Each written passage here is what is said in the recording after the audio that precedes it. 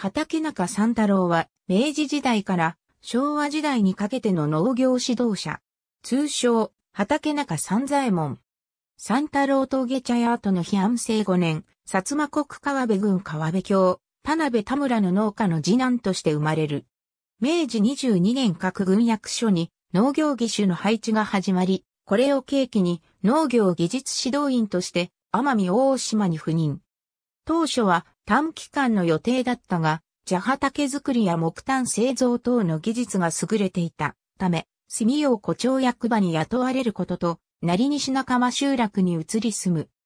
三太郎は、奄美大島の砂糖きび作り一式の農業を打開するため、三太郎峠周辺に農園を開くことを思いつき、明治32年住用周辺にあった峠の山林を入手し妻の重と共に開墾を始めた。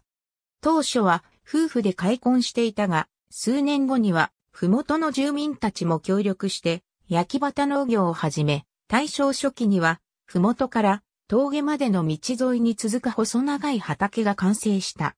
峠の頂に茶屋が建てられ、その周辺には茶畑が広がり、下の斜面には様々な種類の柑橘類が栽培されていた。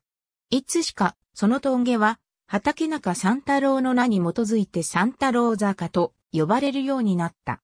大正6年新たな県道が完成し、峠の交通量が激減したが夫婦で茶屋を続けた。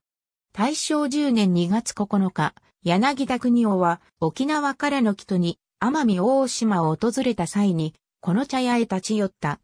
昭和7年7月に死去し、同年9月には後を追うように妻の主義も死去。峠から見下ろせる城の内海の入り口に二人の墓所が置かれたが、昭和14年台風によって海に流されてしまった。ありがとうございます。